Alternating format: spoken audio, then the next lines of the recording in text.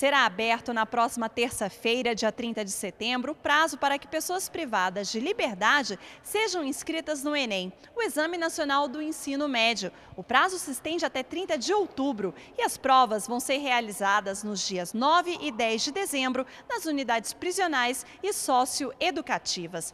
Os resultados do Enem vão servir como critérios para o ingresso desses participantes em programas do governo e vão servir também para que o próprio candidato avalie o rendimento dele no processo de continuidade da formação educacional. As pessoas privadas de liberdade e os jovens sob medidas socioeducativas devem pedir ao responsável pedagógico da unidade para que faça a inscrição dele somente pela internet.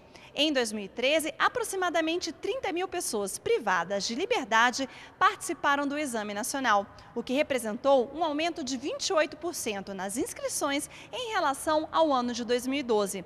Para mais informações, acesse o site do INEP, Instituto Nacional de Estudos e Pesquisas Educacionais Anísio Teixeira. De Brasília, Daniela Almeida.